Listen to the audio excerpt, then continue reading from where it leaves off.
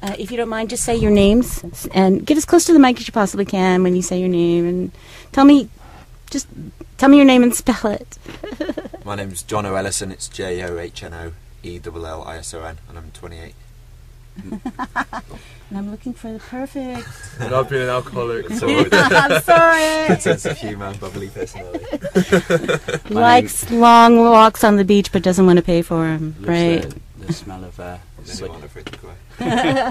Okay, uh, Leigh. Yeah, uh, my name is Leigh Purnell, uh, L E I G H P U R N E L L, and I'm 24, and I also like the sea.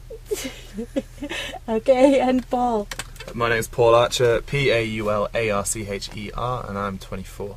and I'm uh, open to uh, any anyone, anyone at all. That's good because you're in Houston, Texas, and there's a lot of that going around. Okay, um, first of all, all right, tell me about this. How? What is this project? How did you get involved with it? Yeah. How did it start? Well, um, we were in the back of a taxi one night and uh, saw it was quite expensive when coming back from a night out, and went, well, let that's really expensive. Let's see how high the highest meter's ever been, and uh, we realised it was high, but we could probably beat it, um, and looked on Guinness World Records and, and went from there.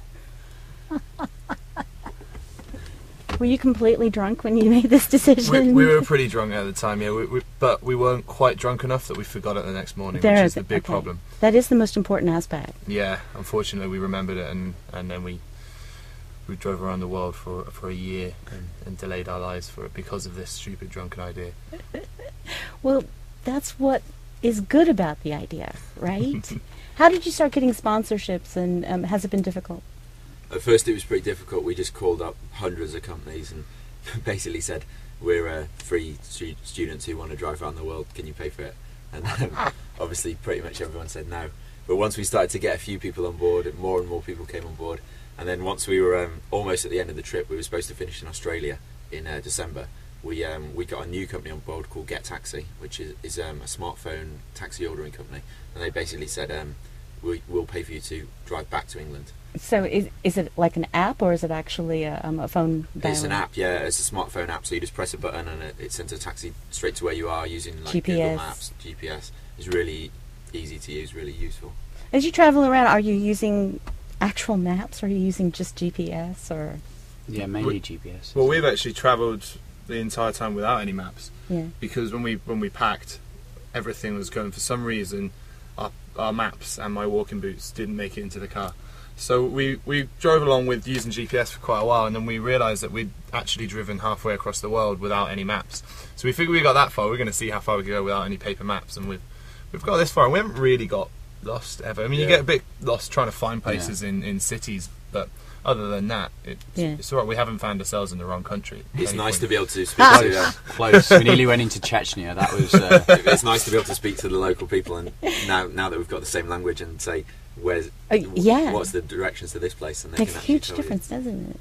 Um, but but no great stories of it ta- sending you into a federal prison or accidentally into.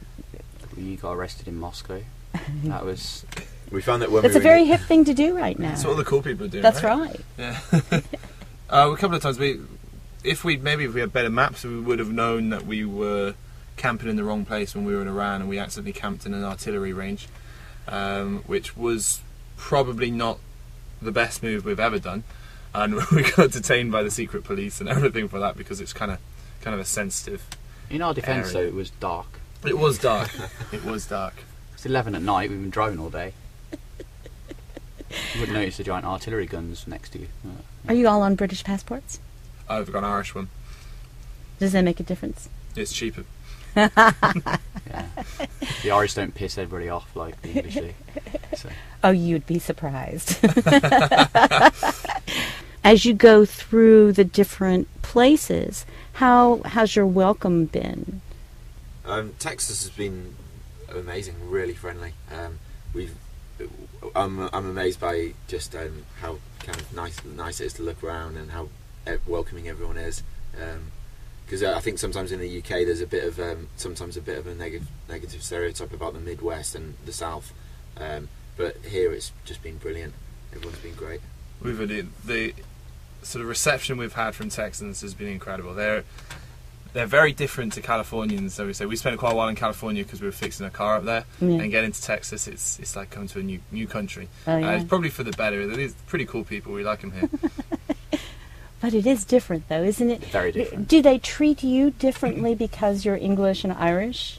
I mean, uh, seriously. Yeah, on the west coast, we've, especially, we found that um, our accents um, just made people go out of their way to help us. It was brilliant.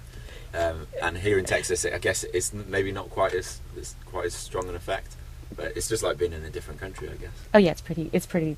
It's pretty strong. I'm, I try and put someone with a British accent on at least once a week on the na- on the week news, and they always. I mean, no matter how stupid they are, they always say, "Oh my God, it's, they are so smart." That's You because know- we are that smart. yeah. right. Taxi cab idea on Yeah. a drunk. Right. Okay. Yeah. All right. Well, you know, I would say that there are plenty of people who would rather be doing that than being on the dole or having no work at all. So yeah, Well, you're right. Yeah, because we did actually work before we left as well. It wasn't like Real uh, jobs? Yeah, we Oh, had yeah, we- Like what? Um, He, he unfortunately was a. I was in always sales. a recruitment. He still is. I got bad news for you. He still is. um, and me and Johno both worked in the engineering sort of sector. So, yeah, Eh, we we had jobs for eight months, but we knew we were going to quit them. So, um, especially Paul went out of his way um, to get a, quite a bad job, so he didn't feel guilty when he just Yeah. quit. So he saved the poor like cash. I, I went, actually went into my performance review, and he started to tell me. I, I said, "Before you start, I've got to stop you. Um, I'm kind of going to quit to drive around the world." Oh, oh, by the way, Yeah, he wasn't too happy. But we knew we were going to do that for about three years, so Uh, we'd already prepared ourselves, Yeah. um, and we'd, at that point we'd already got enough sponsors to sort of make it feasible. But we still had to spend most of our money on it as well. So okay. Well, I want to talk more about the commercialization of it. Um, I saw on one of your Facebook messages that somebody had specifically said, you know, since you've gone over to the stage, you've become more commercial. How do you feel about that? It's absolutely true. We have done that. Because originally we, we did this all off our own backs, as we said, we earned the money for it. We had a few really, really supportive sponsors who just loved what we were doing and they, they got involved. But we reached the point where we're in Southeast Asia. We had a few issues in, in Central Asia where we got stuck. We were stuck there about two months behind schedule, which meant we were running out of money um, by the time we got there. We weren't really sure what we were going to do and this company Get Taxi got involved and they basically said, well, you know, we're going to fund you guys not just to go to Australia, but to go to Australia across the states and then back through Europe to England. And the opportunity that that presented was just too good for us to turn, turn down. Sure. So, so we, we took it, but as part of that means that we are um, uh, obliged to help out Get Taxi, which isn't really a, an issue because it's, it's kind of a cool company. It's a it's a smart app which works, and they're they're rolling out all over the all over the, the world basically, and we're driving all over the world. So it it, it does the both both what we want to do, the, what they want to do, and what we want to do kind of allies allies quite well. But admittedly, we have kind of we have sold, sold out, out a little bit. to the I man. mean, at, at the end of the day, they're paying for us to do, um, and they're a business, and they're paying for us to do to give us this amazing opportunity. So we we're grateful of that. Oh, I know we have sold out a little bit, and we, we do struggle with Yeah. it a little bit sometimes. But it's it's more the fact um, a lot of people it, it is driving and it's um, it it is uh, it's very fun. It's Yeah. better than a nine to five job, but there's it's also a lot of work. Um, you do you're always constantly as soon as you get a, a internet you're on working typing emails typing letters getting all that sent off and then the car breaks down every day every single day if you can pick a part of that car and name it i will tell you it's broken uh, the, the only thing that hasn't is the actual engine and that's because it's built in japan so. Oh, that's funny. Um, let's talk about the car a little bit. Uh, is is it diesel powered? What is it? Yeah, diesel. Uh, it's, a, How big is the engine? it's only 2.7. It's about 80 horsepower. So What do you get into the gallon? 25, something like that. 25 miles per gallon. Something Like. You've been traveling around and seeing all sorts of different kind of prices as Yeah. for gas. What's the highest you've paid for petrol? Turkey.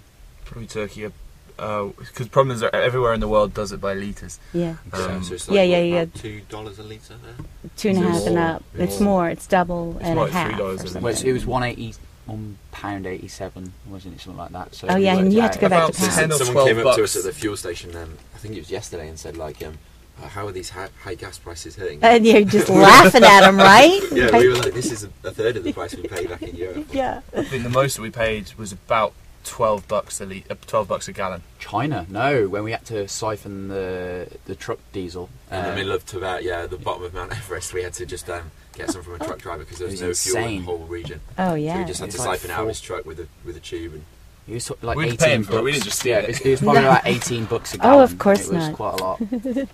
Have you had any problem beside uh, getting the right kind of diesel? Um, Um, in Iran, it was quite hard to find it, um, but also in the US, um, it's not that common, especially in the city. It's not too bad on the freeway because of the trucks, but Right. um, yeah, we've just got to sort of um, plan ahead a little bit, I guess. Yeah. yeah, Iran was quite hard because everyone runs on petrol except for the trucks. Same same as here, really. Um, everyone, there's not many people who use diesel. So Yeah. But it was about, I think, about fifty cents to the gallon there, or Mm. less, probably less in Iran. So you kind of Yeah. you can't find it, but it's actually you kind of it's all right. Miles to kilometers. Any problems with that? Are you seeing more? Uh, did you see in the United States enough conversion signs as you were traveling around? Uh, well, we actually use miles in the UK, so we're Okay. um, for distances, so we're used to. You're okay with all Uh, that? when we were out at Tucson, we saw some signs in kilometers, which Yeah. mixed us up a bit. But Yeah. but um, no, It's Arizona. It's very confusing. With basically a nation of Native Americans in it, and the Native Americans. Did you go through any of the the? may have. no, we, we didn't. Navajo we would have just driven straight through. We didn't actually stop, unfortunately. It's it's bizarre. It's like stepping back in time and going into a new paramilitary type of situation. Yeah, they, they Really? like their Oh, guns. yeah. They like their guns a lot. It's very different. It's the Queen's Jubilee. Does any, has anybody asked you in the slightest about the Queen's Jubilee? No one has yet. Actually, it's in uh, today? June. Oh, No, no. no, it's oh, Well, they always- Leigh. I was It's already, thinking- it's already that- that- happened, but it's always celebrated in Yeah, June. yeah. yeah. So we we're going to be back in time. We're actually arriving back at the beginning of May, Mm. just in time for us to celebrate the Jubilee. yeah, we So saw there's- um, the royal wedding when we were in Turkey um, last year, and found an English pub called the Georgian Dragon or something. And, um, went and got drunk with some um, British expats. The cheesiest bar in the world. It was, The most fun expats in the world are always the British expats. there is no question about they do that. enjoy their drink. Yeah, they do. Yeah, are you going to Austin to South by Southwest? no, we we've just came from Austin, but um, missed it. Oh, you're just not Yeah. thinking. Oh yeah, this is the problem. We were gutted when we found out because we probably missed it by about three weeks. I think It's next weekend. it's next this, weekend. This weekend is my four day festival here in Houston, and the next weekend is the Austin South by Southwest. And it's, you know, well, okay, meet him in France is fun, but South by Southwest in Austin is just an absolute blowout. It was the first Absolute. thing we, we looked up when we found out we were going to the States. We found out when South by Southwest was Yeah, and so that's was That's why they're bad, Oh. bad luck. Absolutely bad luck. At least we managed to see the rodeo, though. Oh yeah, Mutton busting was worth it all. You know, maybe maybe See- South by Southwest isn't anything compared to mutton busting. Seeing college kids. I'd say it's the same thing. calves. I mean, you know, yeah, m- woolly grabs and drunken louts. You got it all. but that's just Texas right there. Anything else you want to say to our listeners about your particular goals? Well, um, we we're raising all the money for the Red Cross, um, so both at home and abroad. Um, so all the money goes to charity, which is what we're aiming for. Uh, everyone can look online um, if you just. Go- okay. Um, first of all, all right. Tell me about this. How? What is this project? How did you get involved with it? Yeah. How did it start? Well, um, we were in the back of a taxi one night and uh, saw it was quite expensive when coming back from a night out, and went, well, let that's really expensive. Let's see how high the highest meter's ever been, and uh, we realised it was high, but we could probably beat it, um, and looked on Guinness World Records. Getting sponsorships and um, has it been difficult? At first, it was pretty difficult. We just called up hundreds of companies and basically said, "We're uh, free stu- students who want to drive around the world. Can you pay for it?" And um, obviously, pretty much everyone said no. But once we started to get a few people on board, and more and more people came on board, and then once we were um, almost at the end of the trip, we were supposed to finish in Australia in uh, December. We um, we got a new company on board called Get Taxi, which is, is um, a smartphone taxi ordering company, and they basically said, uh, Slick. "Anyone afraid to cry?" Okay, uh, Leigh. Yeah, uh, my name is Leigh Purnell, uh, L E I G H P U R N E L L, and I'm 24, and I also like the sea. Okay, and Paul. My name is Paul Archer, P A U L A R C H E R, and I'm 24. And I'm uh, open to uh, any anyone, anyone at all. That's good because you're in Houston, Texas, and there's a lot of that going around. Okay. Buds and, and went from there. Were you completely drunk when you made this decision? we were pretty drunk at the time, yeah, we, we, but we weren't quite drunk enough that we forgot it the next morning, There which is is the big okay. problem. That is the most important aspect. Yeah, unfortunately, we remembered it, and, and then we we drove around the world for for a year and, and delayed our lives for it because of this stupid drunken idea. Well, that's what is good about the idea, right? How did you start? Uh, if you don't mind, just say your names and get as close to the mic as you possibly can when you say your name, and tell me, just tell me your name and spell it. My name's Johno Ellison. It's J O H N O E L L I S O N, and I'm 28. And I'm looking for the perfect. And I've been an alcoholic. It's all good. I'm sorry. Good sense of humour, bubbly personality. Likes long walks on the beach, but doesn't want to pay for them, right? The, the smell of uh,